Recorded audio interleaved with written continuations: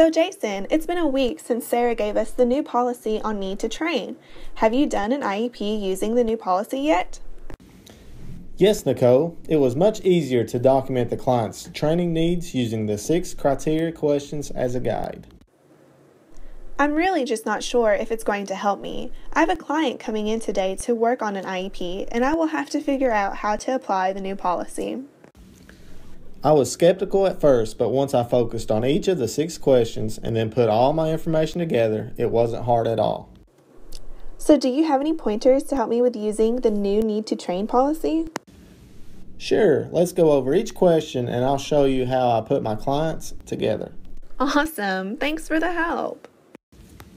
Question 1 asks us to document that suitable employment is available in the local commuting area. Labor market information was able to show that this is a field that is in demand.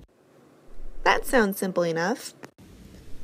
It is. When I was looking to answer question 2, it was easy to show how the client would benefit from the training. My client is waiting to begin lineman training. So I discussed the skills and certifications he would gain from the following completion of the training. Question 3 states that I must show that there is a reasonable expectation for employment at the completion of training. I was able to use labor market information to show that there is a projected future growth for linemen and training would lead to employment.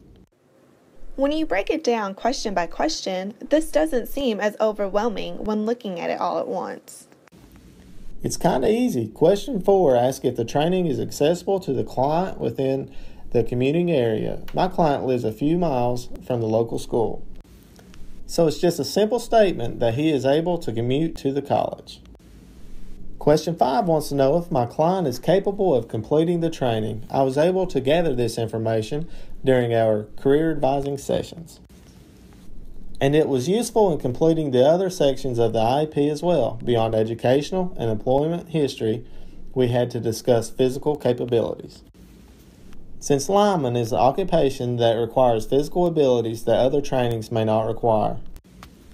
The last question is just documenting that the training is approved and listed on the ETPL. This again is just a statement that I have researched that the lineman training is approved at the college that he wishes to attend.